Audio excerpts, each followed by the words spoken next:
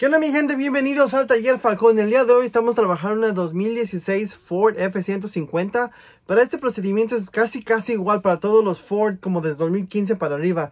Todos los que tienen el código P1450, que significa que la válvula de Perch que viene o que es del sistema de la vaporización del tanque de gasolina no está sirviendo, no está haciendo lo que tiene que hacer. Si tienes este código en tu carro, creo que los Ford Fusion, um, Expedition 150, este, unos Mustangs también, so tienes el código P1450, mantente aquí.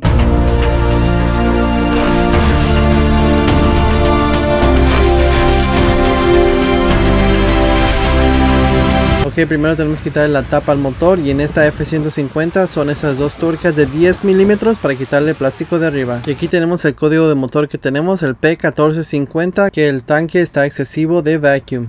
Ok, la válvula está aquí arriba del intake, en esta F150 está en el lado izquierdo del motor tenemos este clip verde atrás y tenemos dos puntos más donde van a ir conectados hacia el intake, uno enfrente y uno... Okay, so esa es la, la, válvula que está aquí en este F150, ¿verdad? So esta válvula normalmente tiene una entrada por atrás, una entrada por enfrente y un conector. Y si quieres saber cómo la puedes checar esta válvula, normalmente lo puedes conectar a un escáner a tu carro y con la escáner puedes abrirla a 10%, 20%, 30%, abrirla completamente.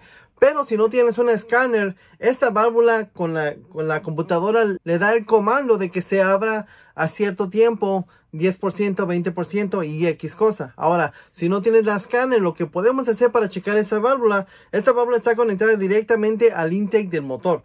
el intake del motor siempre está siendo vacío o vacuum. Entonces siempre le está llegando vacuum al, lado que viene, a la manguera que viene del intake, a esa válvula.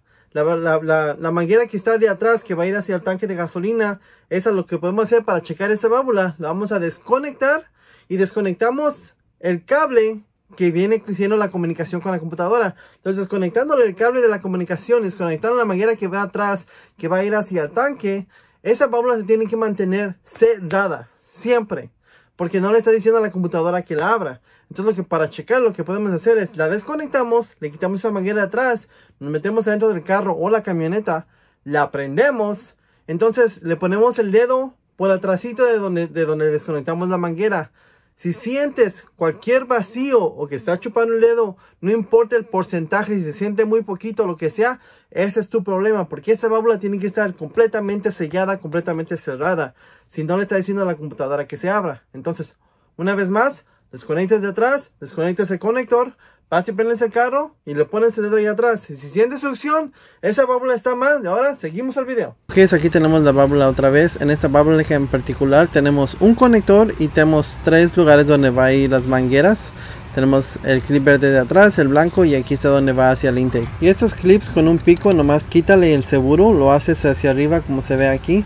So igual aquí en el de abajo también y tienes el verde de atrás y ya le desconectas el conector y ya puedes quitar la válvula de aquí. Y aquí ya teniendo la válvula afuera les quiero enseñar bien por dónde se va a checar donde va conectada la manguera de atrás. En este es donde vas a tapar con el dedo para ver si hace succión a ver si está completamente sellada o se está quedando abierta. Aquí tenemos el número de parte para esta camioneta. Ok mi gente y así es como se puede checar la perch valve cómo se cambia. Y espero que este video les haya ayudado en algo. Como les digo, este video es para todos los Ford con el código P1450. So, como siempre, no se les olvide apretar el like, apretar la campanita para que no se les pase ningún video. Y nos vemos en el siguiente video.